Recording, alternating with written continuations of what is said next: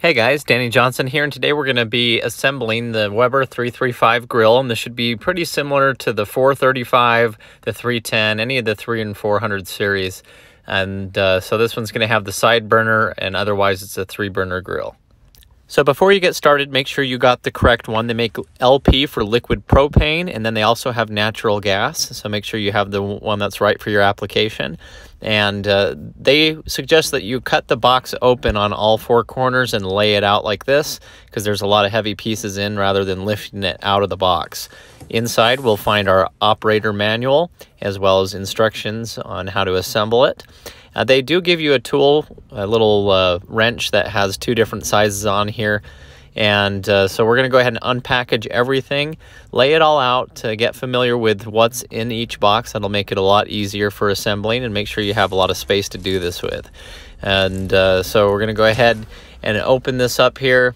Uh, the parts, the hardware was really hard to find. It was actually in here. I thought it didn't come with it but it is under all these boxes you'll find the bag so uh, don't get too concerned look for it uh, in here first and uh, each of these is labeled. So for example this is bag A and it'll tell you what is in that hardware. Some of the bags have a sticker on them with the letter for A B and C and some just have it printed on the bag. So we're going to start off by taking a wheel and we're going to put uh, this shaft through it and we're going to get our cotter pin and we're going to push it in and we're going to click it. But we're only going to do this with one wheel right now. Next, we're going to take our frame and we're going to put them both vertical like this with the wheel going through it. And notice you want uh, it to look like this with uh, the other pieces on the insides. And then this will be where we'll put on our casters, but you see it's black on the top of each of those. So we're going to go ahead and put our wheel with the rod through the hole here, and it's going to go through this one as well. And so uh, next we're going to bring in our other wheel and attach it. So it just slides on the end, just like the other one did. And we're going to go ahead and put our cotter pin through here until it clicks, and it should look like this. Uh, next, we're going to bring in the little hubcap, and so this just pops into place. Just line it up and push it in, and it will click right into its place. And our casters come next. We just put them down into the little hole here on this black foot and push down until it clicks. So we'll just repeat that for the second caster. And now we're going to go ahead and move on to this panel. It has a hole in it, and you can see they've put yellow dots to match up so you know that you're on the correct side here. So we're going to line this up, and we're just going to put our screws in. These are just the Phillips point screws, and there's one for each corner. So we're going to go ahead and put one on each corner here and tighten them down. Uh, next, we're going to find our push pins, and these are black uh, push pins. They look like they screw in, uh, but you actually just push them straight. So what we're going to do is bring in our bottom panel here. We're going to lift it up, and we're going to line it up uh, to the holes here. So the, now we're going to come into the side corners, and we're going to push these push pins through. So just line it up, and you'll notice when you push it, it kind of uh, flattens down and push it a little bit more, it'll mushroom, and then that's uh, when it's done. So make sure you push it all the way till it uh, mushrooms both ways, all the way out. Uh, next, it gave me these two uh, clips here, and it says to put them down here at the bottom where the cabinets will come on, but it's very odd as they didn't fit very well, and later the cabinet doors go in there. So um, maybe it's for a different model. It included them and they really didn't go with this for any reason that I could find. All right, next you're going to find these panels that have lines in them, but there's a third one that's bigger than all of them. So that's the one we're using. It has the edge on here, and you can see where we're going to put push pins through here. So this is the very back, and so we're to basically uh, line it up like this. Make sure it looks like this with the lines on the top two parts of it. And uh, we're to line the holes up and we're just to put push, push pins through all four corners here. Uh, so as you can see in the bottom, we just lined up our push pins and clicked it here. And on the other side as well, just push it in. And now we're going to lift the panel up and uh, we're going to put two more push pins in, one on each side. So very simple on this one.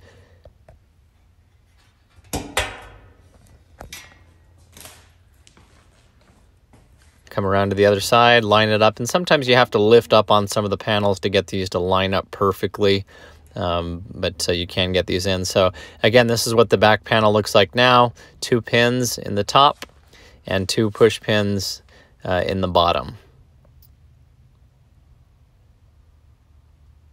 Okay, next we're going to grab our next hardware bag, which is B. And it's nice because uh, each step of the way you stay with the same hardware bag. So we're going to open up B and now we're working with all this.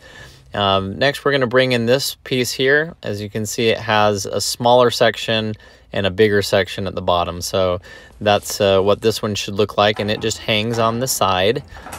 And we're just going to put four of these uh, Phillips screws in. So uh, two on the top, two on the bottom, just tighten them down.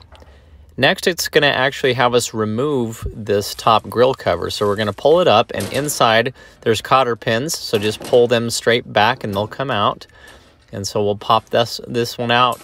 We'll pull this one out, and uh, you, there's also just uh, little push pins that we're now going to slide out.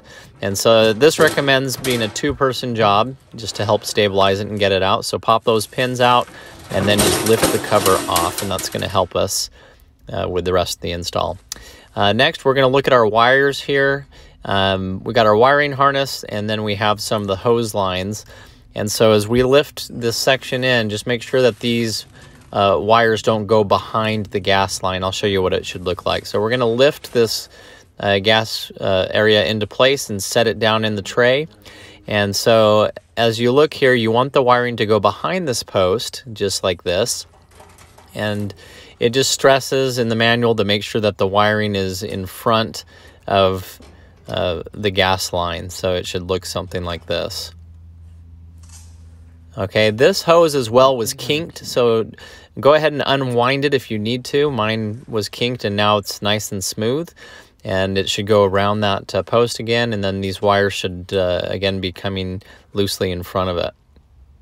All right, we're going to open up our next bag here and it has some uh, more gray looking hardware. So two of these are going to go into the front and they have uh, little washers that go on them. So we're going to go ahead and take these, put their included washer on it here. And so this is the very front of the grill, right under all the knobs and the handles, and we're just going to tighten both of these down. So for this, we're using a 7 16 inch socket or the included wrench that they gave you. And so we're going to go ahead and tighten this down on both sides. Again, make sure that the washer is behind it as well. And now on the back side, it has these screws that we're going to put in. And they look kind of funny because when they're screwed in, they still poke out. So it looks like they need to go in farther. But uh, you're going to start screwing them in and you'll see on the back side where they start to come in a little bit.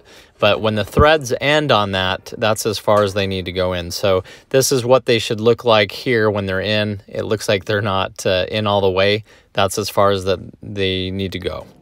Uh, next, we're going to go ahead and bring in our uh, big panel here that has all the holes in it and this is our weigh scale. So this will tell you how full your propane is by uh, the weight. And so there's two holes here, and we're just going to line this up and put uh, two screws coming in from the back side. Next, we're going to bring that panel in with the weigh scale on it and make sure that both the gas lines are coming on top of this panel. So you want to grab both of these and get them basically bundled up at the top. So put them maybe up over the corner like this so that they don't get trapped down in there but both the gas lines need to go up and over this panel. Next, we're going to install four screws to keep this panel on. So just uh, on each corner, make sure you put in one of these cross point screws and tighten them all down. And so this is what it needs to look like with both of these gas hoses lines. Make sure they did not get trapped down in there. And uh, that's fine for those gas ones. As for the power wires, they need to go down in between. So they will go all the way to the bottom. It also gives you some hardware here that uh, the screws will screw into these black pieces and it just goes on the back side here and they basically go into nothing. So just put the screw through and tighten it down with the little black piece that it goes on. Next we have our battery with our starter kit and it also comes with one bolt and so that bolt is going to go for where this uh, gas line attaches to the grill. So we're going to take this and as you can see there's a, a little notch in it for it to hang and so we're going to attach it to the back of this panel and we're going to go ahead and put that screw coming through the other side to secure it. So just bring the screw through the back side which is near the cabinet area, and it will just tighten into this fitting, and that'll just hold it in place. Okay, so here's a final look of what this should look like now. So that's nice and tightened down. Here's our control module here, and as you see on the back side, it has two little notches. And so we're gonna go ahead and put those into the cabinet side here. So we're gonna line this up. And as you can see on the back side here, it's just gonna go into these two slots and then down. Okay, so now we're going to bring in our battery, and so you can see it's the positive side up, and then we put uh, it just into its little sleeve and tighten it down. Next we have bag G, and so this has our brackets in it for hanging our side uh, mounting shelves, and so uh, it says up on them as you can see. What we're going to do is just put them on the very end here on these uh, studs that are already coming out. So from here, we're gonna just bring in the side shelves and we're gonna line them up with the holes and just hang them from here and then secure them with the two nuts on each side. And this is the same 7 16 inch uh, wrench for doing this, or the provided wrench that they gave you. Okay, we're going to put the shelf on the other side in the exact same way. The only difference if you have a 335 or a grill like this one that has the side burner, nice uh, shaker there by the way, nice view there. Uh, anyway, uh, we're going to go ahead and put on our burner here. And so we're going to put this one down first. It lines up right over that uh, post on the top. Next, we're going to bring in this piece that has two holes, one on each side, and so that lines up here. And then the little grate that it comes with just sits right on top. It doesn't really, um, it doesn't really go down into much here.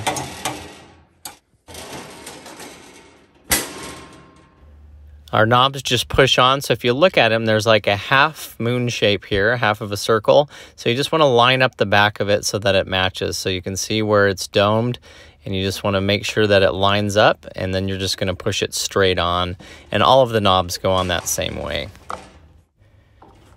So you can test the knob once you put it on. You should be able to push in on it and move it to the different settings. Okay, next we're going to connect our side burner. So this is very easy. I like how they did this. It's just a quick connect fitting. So you pull it back and then uh, slide it over the fitting here.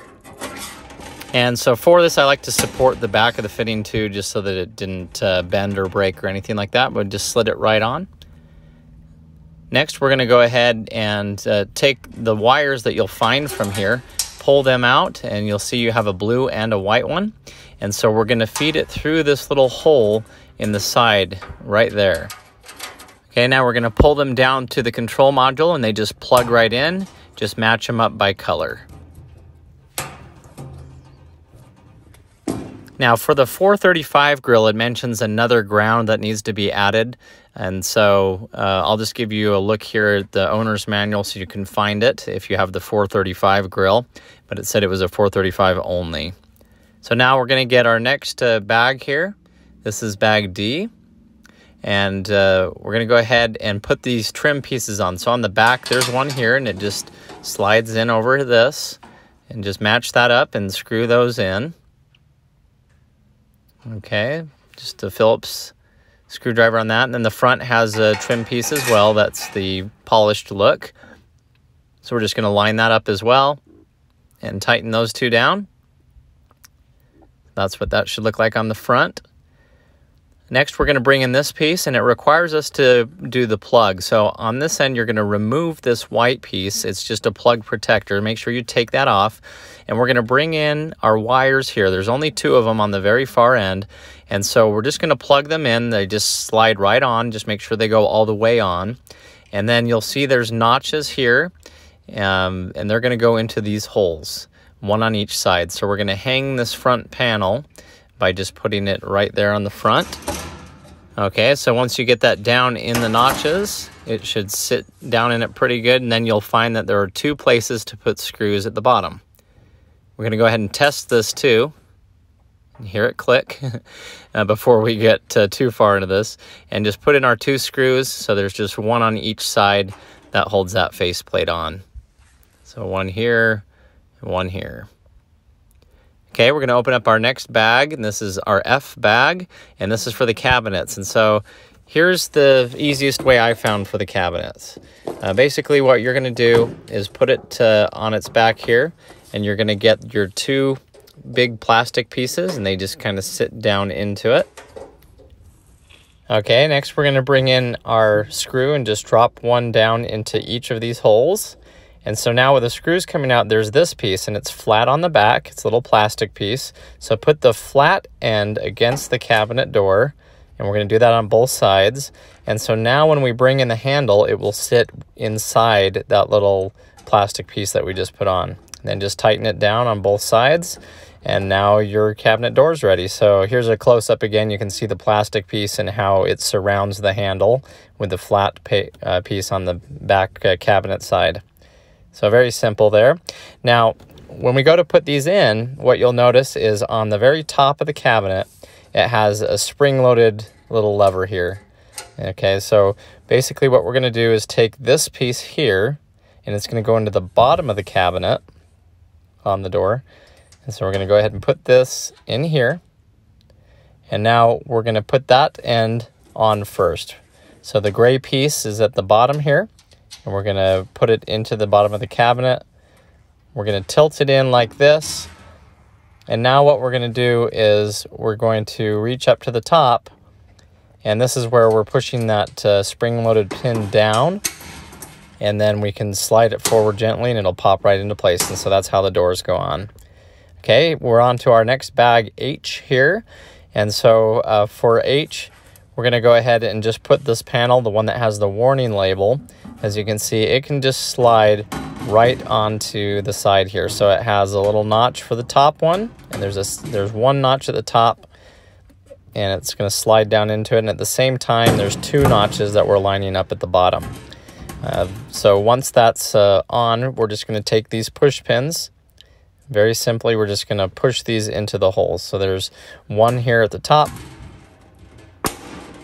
There's another one here at the bottom. Okay. And uh, now we're going to do the same thing on the, uh, the other side here with this other panel. So we're just bringing this one in. Okay, I'm just going to lift this other one in and slide it down in the same way. Two at the bottom, one at the top. And we're just taking our push pins and popping them right in to hold this panel on.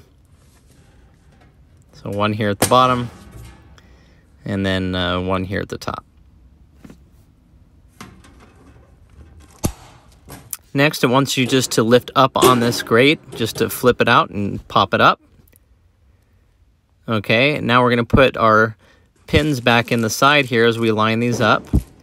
So just make sure that you get one on each side, and we're going to take our little cotter pins that we pulled out earlier, and we're just going to slide them in.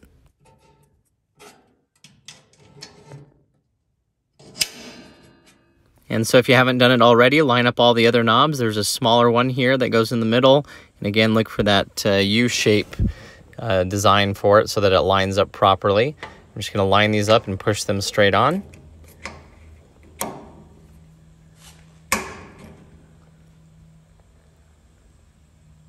Okay, now we're going to come in and we're going to first put in these triangular pieces with the big slits in them. So they just fit down into the very bottom and you'll see the notches for them that's laid out and so they just set down in there. And next we just put on the larger triangular pieces and so there's more of these ones. So we're just going to go ahead and line them up and put them uh, across the top.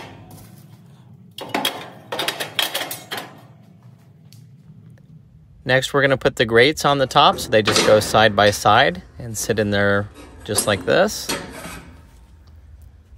And uh, we're going to go ahead and close this now. Now in the bottom, there's the belly pan. So if you look at it, uh, this is what it should look like. It has a little tray, a little, it dips down in the front towards you. so you can tell you're putting it in the right way and it's to slide right in. So we're to go ahead and put it in here. And there's a little diagram here if you want to see it as well. But basically, it's to just come straight in here and slide right in.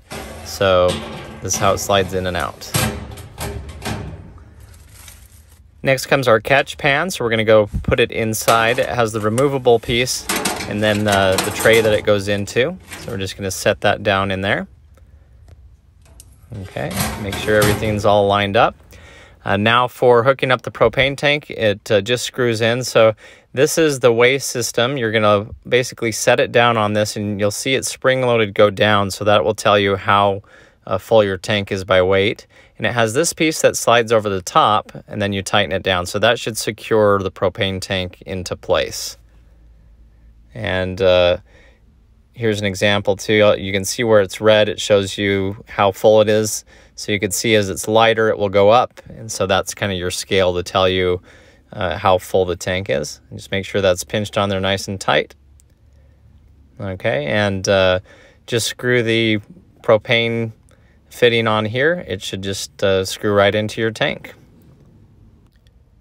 So hopefully you enjoyed the video. If you did, uh, please subscribe to the channel if you're new and let me know if you have any questions. Uh, this is turning out really nice. I really enjoy this time of year for doing some grilling. Made some really nice breakfast. And so um, anyway, thanks for watching.